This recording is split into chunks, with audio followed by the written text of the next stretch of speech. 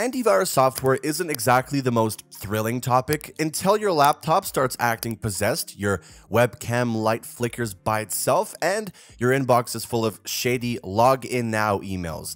That's when it hits you. Maybe you should have taken digital security more seriously. And if you're going to do that now, Bitdefender Total Security is probably one of the first names you'll run into. But does it actually live up to the hype? Or has it fallen behind in a world where threats are getting sneakier and more sophisticated? Well, that's what I set out to find out. And after using it across multiple devices and digging into the latest updates, here's everything you need to know. Also guys, if you want the best possible deal for Bitdefender, hit the link in the description because most of the stuff I mentioned has special deals you won't find just by going to their site directly, so keep that in mind as we go throughout. First off, Bitdefender Total Security isn't just antivirus, it's more like a digital bouncer, security camera, and first aid kit wrapped into one.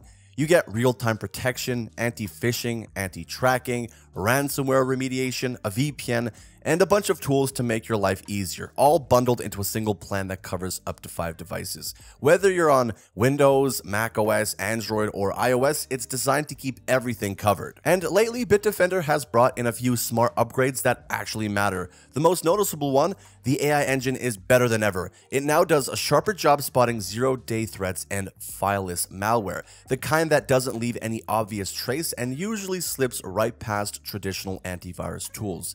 Bitdefender Defender's AI doesn't just rely on signature databases anymore, it's learning patterns, adapting in real time, and stepping in when things look even a little off. Another feature that's gotten a quiet but meaningful upgrade is ransomware remediation. Basically, if something locks your files, Bitdefender now digs into your system's shadow copies and restores what got encrypted. It's not perfect, but it's a lot better than staring at a ransom note and wondering if your essays or tax files are gone forever.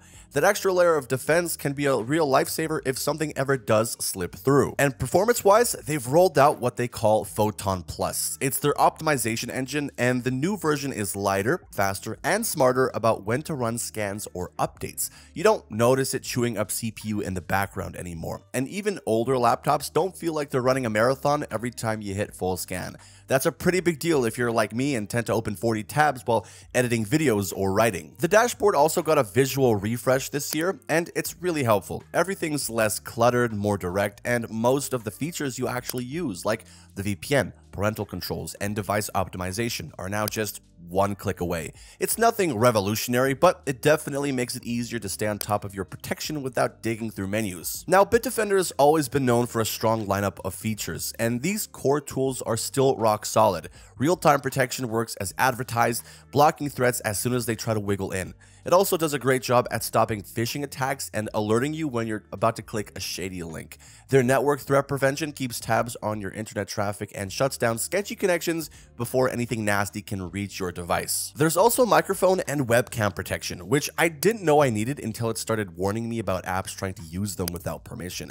Maybe I'm paranoid, but in a world of weird Zoom invites and browser exploits, it's kind of comforting. One of my favorite things is how easy it is to use. Bitdefender has a set it and forget it vibe that I really appreciate. Autopilot mode just takes over and makes smart decisions for you, like suggesting when to update software or run scans. You don't get constant pop-ups or reminders. It just does its job quietly in the background and only speaks up when something's actually important. On mobile, Bitdefender holds up pretty well too. Android gets the better deal with features like real-time scanning, web protection, app privacy checks, and anti-theft tools. iOS is a little more limited, mostly due to Apple's restrictions, but you still get access to things like a secure VPN and breach monitoring. In terms of performance, Bitdefender is still a beast. According to the latest results from AV-Test for this year, it scored a perfect 6 out of 6 in protection, performance, and usability. That means it blocked every single threat they threw at it, didn't slow down systems during regular use, and didn't annoy testers with false alarms. That triple six score isn't something many antivirus products manage to pull off, especially not consistently. Now, as for pricing, Bitdefender's got a few plans, but most people really only need to consider three.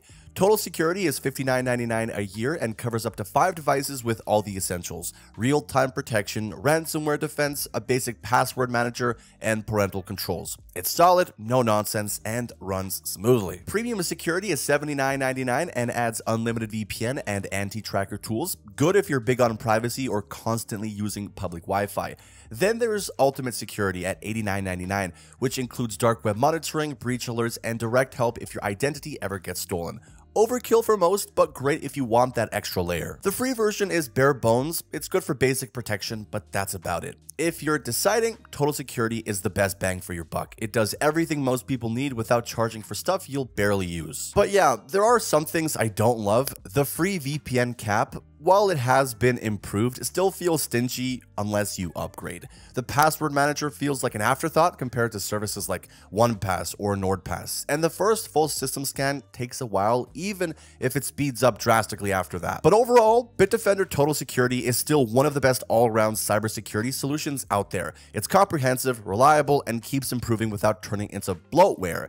It doesn't try to sell you things every two minutes, it runs quietly and it gets out of your way. Whether you're working remotely, gaming, banking, or just binge watching, you get peace of mind knowing something solid is running behind the scenes. If you've got multiple devices and want something that just works, this is still one of the smartest choices you can make. I've tried enough alternatives to know that not every antivirus gets the balance right between power and usability, but Bitdefender walks that line really well. And that just about wraps up today's video, ladies and gentlemen. If you have any further questions for me, just leave a comment down below and I'll get back to you as soon as I can. If you enjoyed today's video, consider liking and subscribing to the channel, and don't forget about that link in the description below to get yourself the best available deal for Bitdefender.